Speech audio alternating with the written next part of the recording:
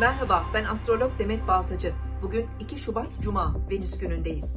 Ay Akrep Burcu'nda ilerliyor.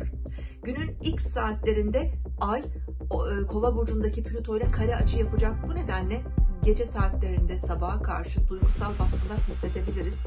Kronik sağlık sorunlarımız da biraz zorlayıcı olabilir. Şartları e, zorlamamakta, daha sakin kalmakta fayda var.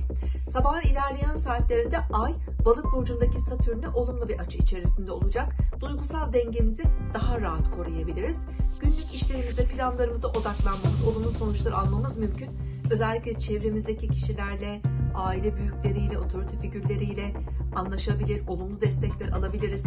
Yengeç, akrep ve balıklar bu etkiyi daha güçlü hissedebilir. Öğleden sonraki saatlerde ise Ay Jüpiter'le karşıt açıda olacak. Duygularımız güçlenebilir ancak abartılı ve dengesiz tutumlarımız da olabilir. Aşırı beklentiler ilişkilerde biraz e, memnuniyetsizliklere de yol açabilir. İşte artışımız olabilir, harcamalarda müsrif olabiliriz. Mümkün olduğunca dengeli olmaya özen gösterelim.